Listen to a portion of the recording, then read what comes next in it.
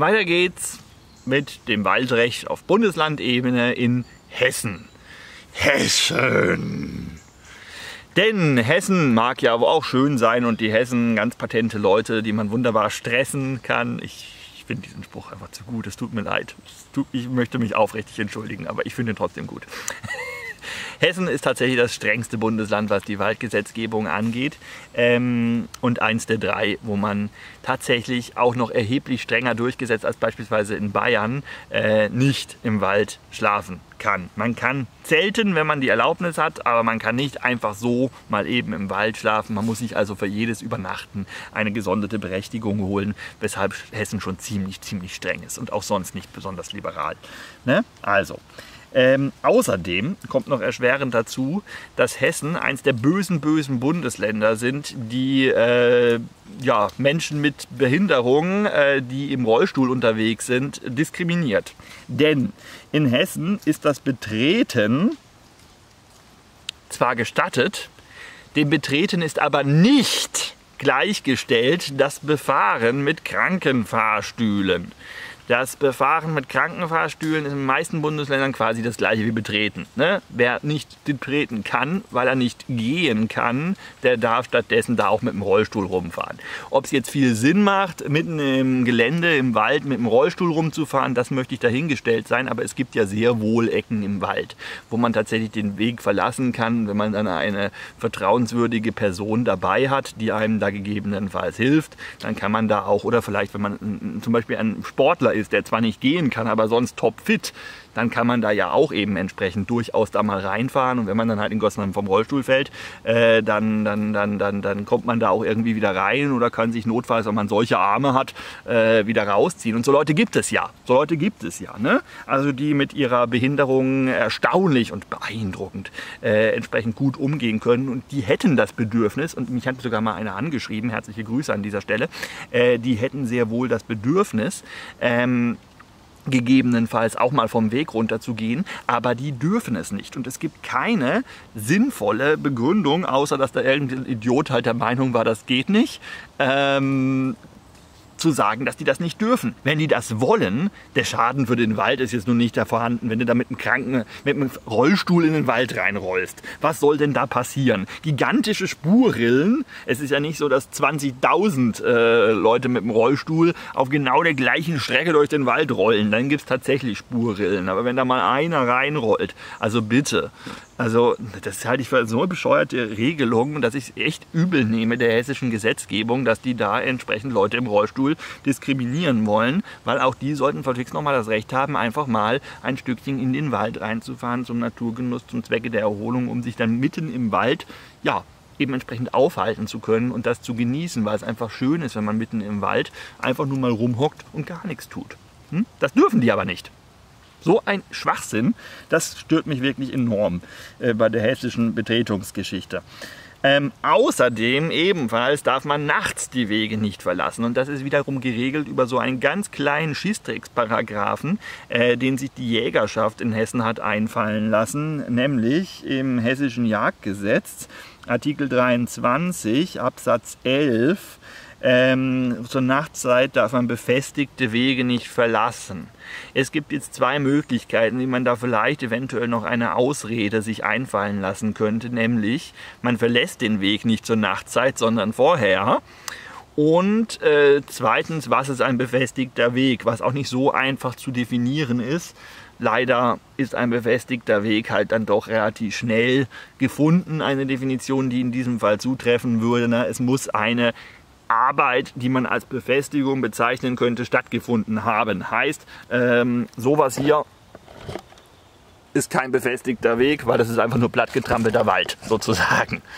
Ähm, und damit hätte es dann ähm, hier schon ein Problem gegeben, wenn man jetzt allein schon auf sowas unterwegs wäre, weil es kein befestigter Weg ist des Nachts. Natürlich wird man wahrscheinlich keinen Rechtsstreit gewinnen, wenn man sagt, aber ich habe den Weg äh, schon vor Anbruch der Dunkelheit verlassen. Ne? Ich darf ihn ja nun nicht verlassen, nachdem es dunkel geworden ist.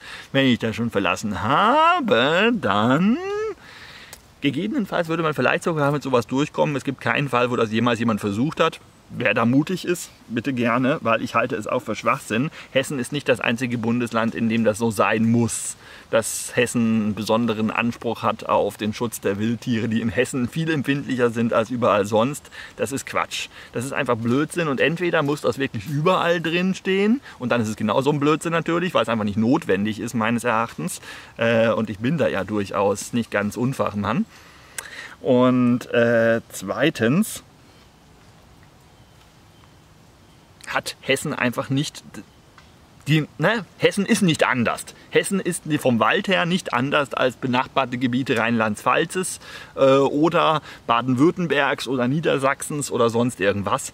Ähm, ne, da gibt es überhaupt keinen nennenswerten Unterschied. Oder selbstverständlich auch Bayerns.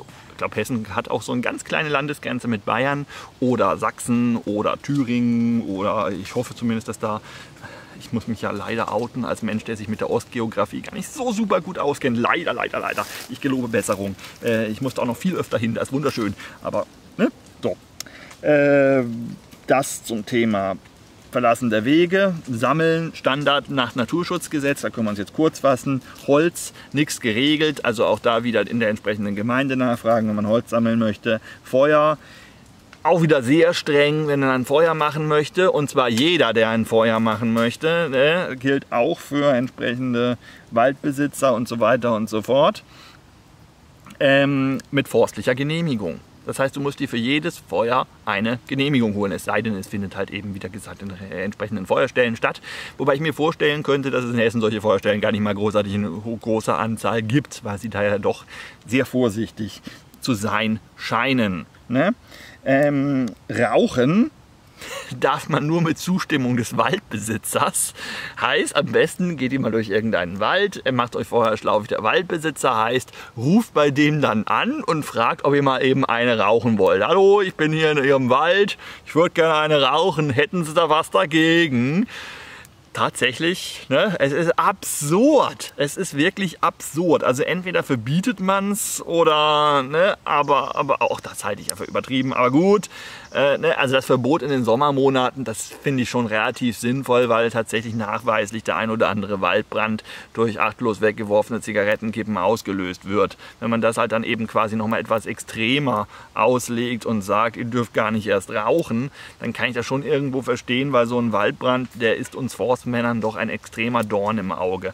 Aber das ist doch lächerlich. Ähm, gut, aber kann man sich streiten.